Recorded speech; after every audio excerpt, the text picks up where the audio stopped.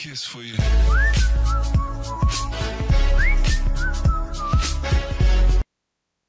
Bismillah ar-Rahman ar-Rahim welcome back to my another video tutorial on Android app development and so guys in this video I am going to show you how you can uh, create a barcode or QR code scanner and with the uh, center uh, rectangle or you can say it like a sub view. So guys let me first of all show you what I am talking about. So here I already have connected my phone and from there you can see that I have this uh, scanner here and this scanner can scan uh, the QR code. So let me write something QR codes. So if I click on image and let me see if it will scan it okay I think it is for the barcode. Let me just write barcodes. Alright suppose we have this one. And if I click on here so okay. So here after we uh, we scan the barcode so then we will be able to show the barcode uh, this the text and the string under this uh, barcode. So guys that's how it will work. So guys let's get started. So here i am going to create uh, a new project and i will click on empty project and i will click on finish.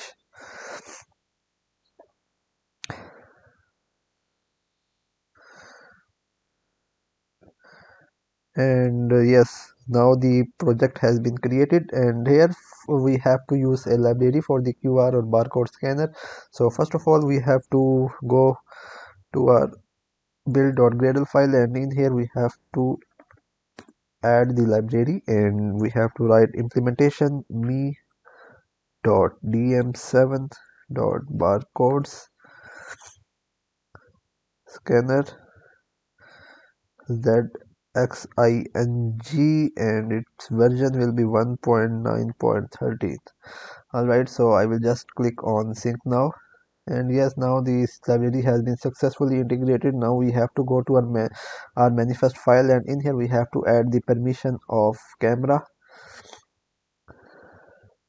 So after having this uh, camera permission because we have to use the camera in order to scan so for that's why we have added the uh, the user permission. And after this uh, for this we are going to use this main activity. And first of all we have to go to our main activity.xml file. And here let me change the constant from constraint layout to relative layout. And let me remove the text view from here.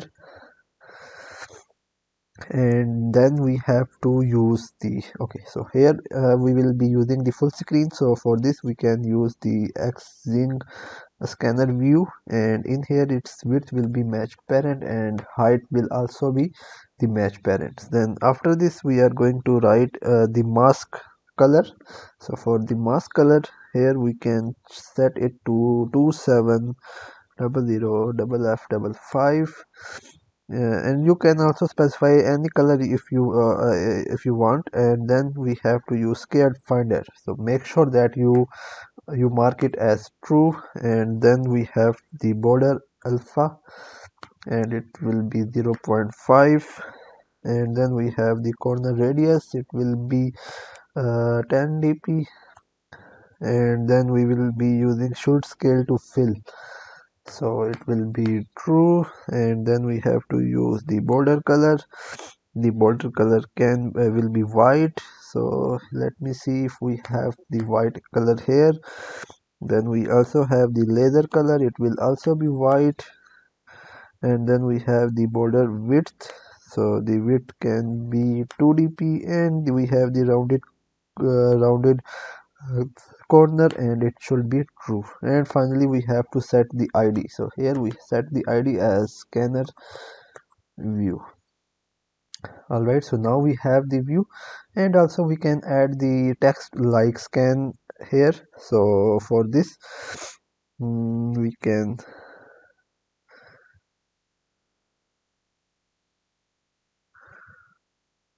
okay.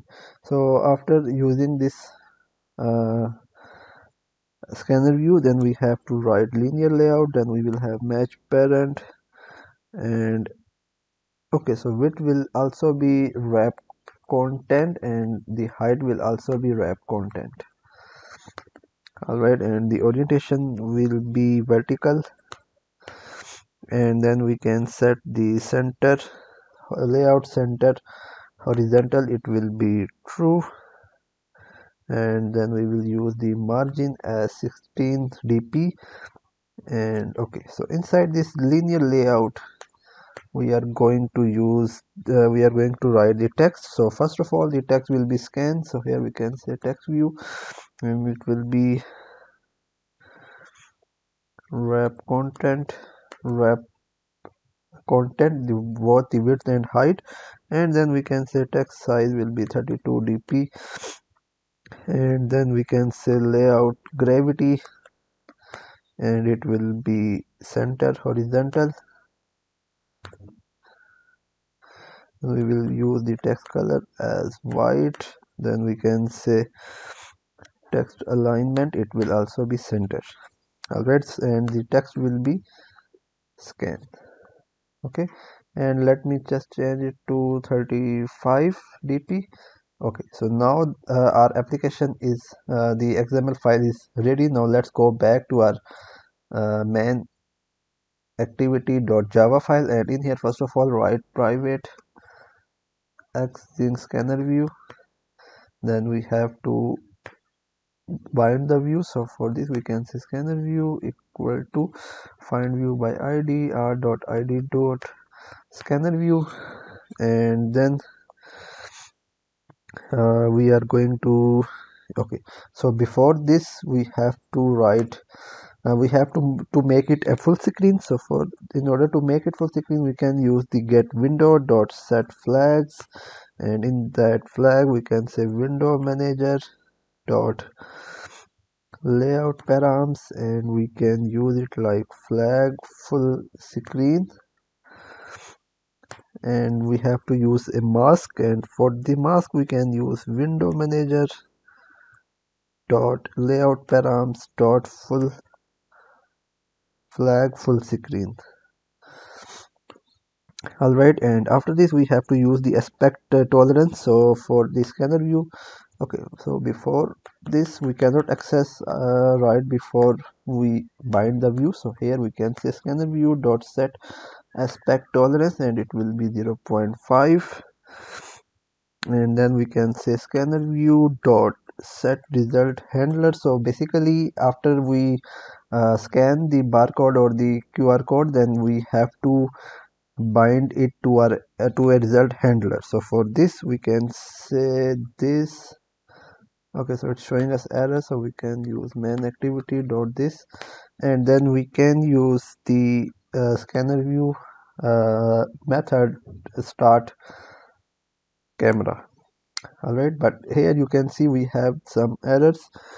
0.5 okay so it will be f because it's a floating uh, number and here we have to implement uh, the interface and it's xing scanner view dot result handler. Okay and now it's showing an error so we have to click alt enter and you have to click implement methods and override the method handle handle result all right and right after this uh, okay so here we have to use on pause method and in here we have to pause the r scanner view.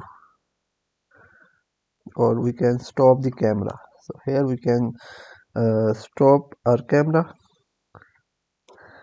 And inside our handle uh, handle result we can print a toast message and this message will be uh, barcode text equal to and here we can say raw result dot get barcode format. We have uh, multiple things which we can print and here we can use the get text method.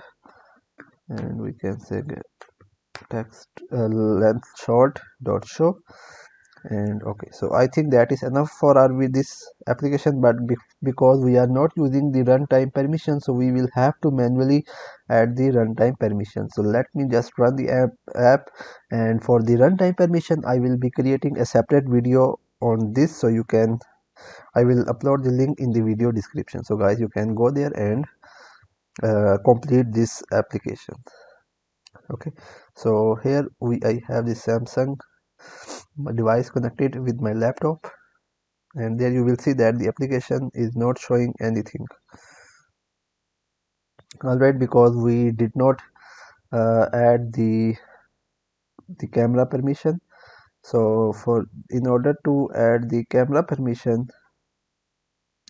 what we are going to do is let me just open our app and here I will go to is apps apps. And our application name is my application. So I will just type